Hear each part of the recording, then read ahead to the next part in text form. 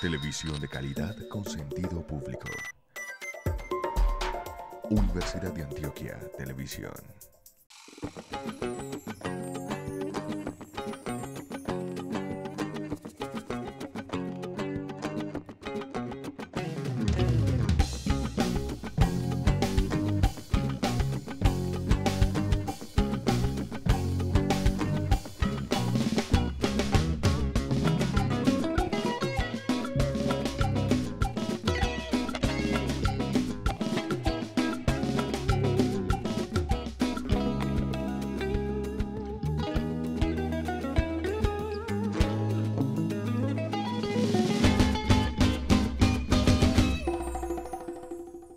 Hola a todos, bienvenidos a La Última Vocal, el magazine que cuenta el día a día de la universidad. En el día de hoy nos encontramos entre Plaza Mayor y el Palacio de Exposiciones, lugar donde se lleva a cabo uno de los eventos en el cual más ha trabajado la universidad. Sí, Daniel, mira, durante todo el año nosotros hemos anunciado Expo Universidad y se llegó el momento. Pero más adelante vamos a tocar un poco más este tema porque ahorita nosotros queremos hablarles e invitarlos a otro evento muy importante. Es que muchas personas no saben o no recuerdan que bajo la Avenida de la Playa pasa una quebrada, la quebrada de Santa Elena. Pero el colectivo El Cuerpo Habla nos invita a que reflexionemos a través de un performance que ocupará toda la avenida.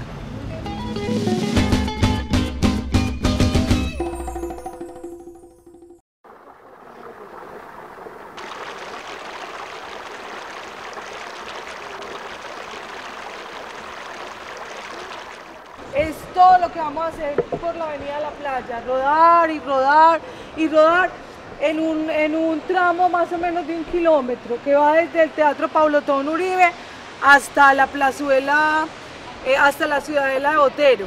Pretendemos crear una conciencia colectiva. Nunca se ha hecho en Medellín, nunca se ha hecho en Medellín un trabajo como estos. Entonces, muy rico que todos ustedes sean parte como de este proceso. Los llamamos, los convocamos, los queremos invitar para que nos acompañen en esta idea que es su generis, que es una... El proyecto del que nos habla Ángela es ganador de la octava versión de becas a la creación artística y cultural de la Alcaldía de Medellín en la modalidad Arte No Convencional Performance. El proyecto se llama Badear. Badear significa pasar una quebrada de una orilla a la otra, a la otra por su parte menos profunda. También vadear significa esquivar los problemas, crear una reflexión sobre ellas, superarlos. 336 personas envueltas en una tela blanca que hará las veces de nicho vadearán por la avenida La Playa, donde, debajo del asfalto, se encuentra la quebrada Santa Elena. El espacio de la quebrada por eso mismo, porque queremos recordarle a la ciudad y mire que es como un río, la gente es como un río que va bajando. 336 personas porque son los años que tiene Medellín. Entonces nos interesa hacer ahí como una, como estamos construyendo ciudad, entonces hablar de esa construcción de ciudad a través de un acto simbólico como son 336 personas. ¿Por qué nichos?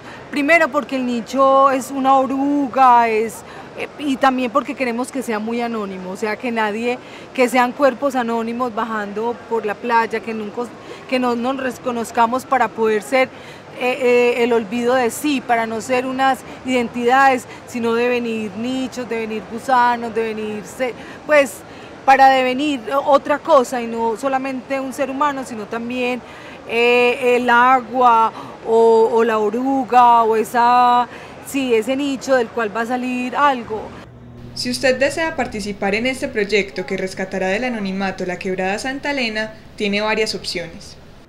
Nosotros vamos a vadear el 26 de noviembre en horas de la tarde dentro de un programa de la alcaldía que se llama Los Días del Centro. Se pueden inscribir en las secretarías de la facultad, en las secretarías de la Facultad de Artes y eh, tenemos un blog que se llama cuerpohabla.blogspot.com o un correo que es eh, elcuerpohabla.gmail.com.